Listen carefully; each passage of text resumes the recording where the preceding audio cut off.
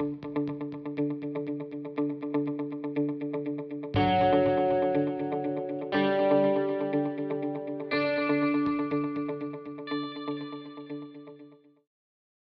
Hello and welcome back to our webcast series on the topic of plane and descriptive geometry.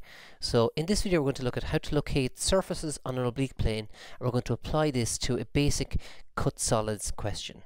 So we'll begin by just first of all um, just doing a quick recap on our horizontal sections method that we use to locate points on our oblique plane. So in this case here we have a triangle A, B and C.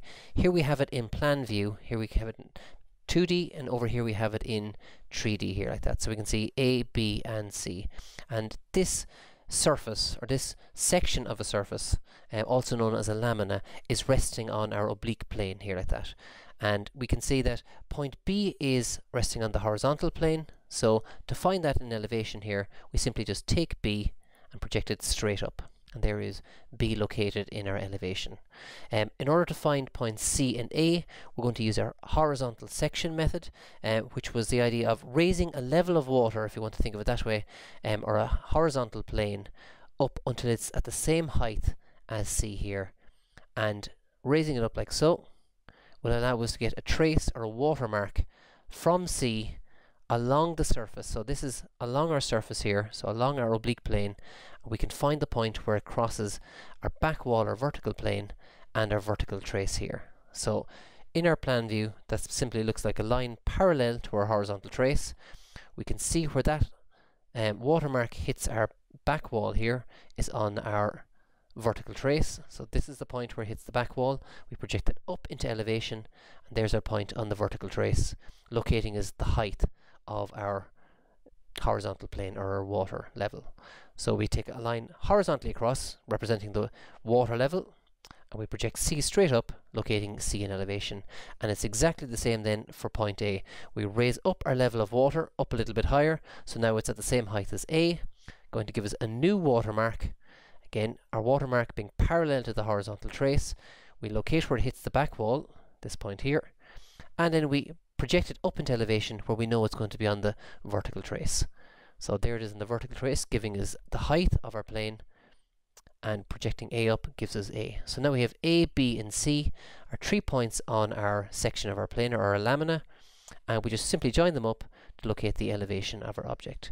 And this is just borrowing from our previous technique that we saw in our last video, how to locate a point on an oblique plane. So this is our method for locating our surface. And what we're going to do now is going to use this method to locate the cut surface of a solid being cut by an oblique plane. So if we look at it here, we have our VTH, which is the traces of our oblique plane, and here we have a solid, the plan view of our solid and the elevation. Now this method only works when we're dealing with prisms.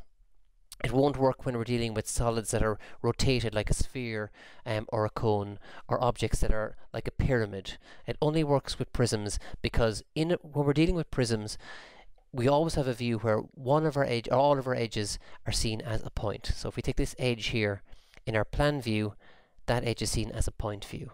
So it only works when you see your corner or your edge as a point view. So if we look at our 3D view here, what we're dealing with is our oblique plane with our VTH and it's slicing through our prism like that. So the top half here is going to be removed away, giving us the bottom half and this cut surface here.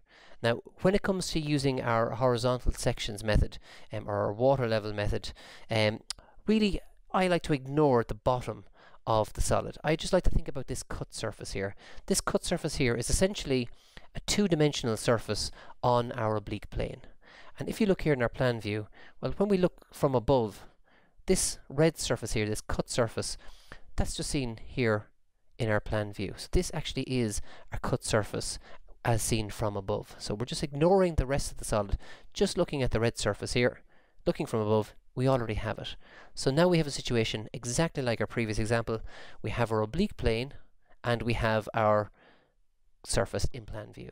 So exactly like in our last example, we're going to follow the same steps. We're going to take each of our points. So like point number one, we're going to raise up our water level and we're going to draw in our horizontal trace. So there's a watermark like so, parallel to our horizontal trace in plan. Where it hits the back wall, we're going to project it up onto the vertical trace, giving us the height of our watermark. We're going to bring it across and we can either project one up or we already have the edge here. So that locates as our point number one. So that's our point on our cut solid um, where our oblique plane cuts through corner or edge one. We're going to repeat the process then for corner two. So project them along. There's a new watermark. Again, parallel to our horizontal trace. Project it up onto the vertical trace and straight across. And you can see the fact that it, it, comes in line with number one here is just a coincidence. That doesn't have any bearing. It doesn't have to be in line with number one. It just happened to be that way. And that's going to give us our point number two. We repeat the process for number three. There's a new watermark, like so, where it hits our back wall, our XY line in plan view, projected up onto the vertical trace and across.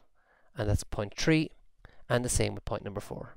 So point number four, projected up, and bring it across, giving us each of our points, which we're able to just join up. And make sure you label them all as you go along, because sometimes if you're dealing with a complicated part, it can be hard to visualize how they join up. So as you're moving along, make sure you label them as you go, so that when it comes to finishing the piece, you're able to just join one, two, three, and four, giving you the cut surface.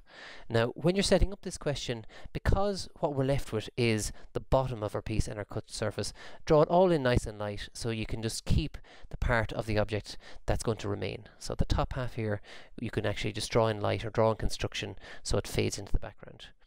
And that is our completed solid. So that is the cut surface of our solid located when it's cut by an oblique plane. And it's a very, very useful method for um, locating our cut surface like so. Um, that's our video anyway so um, our next video is going to look at how to deal with cut solids that are um, say aren't prisms but say the likes of pyramids. So if you're interested in that I mean stay tuned to our next video. Thank you very much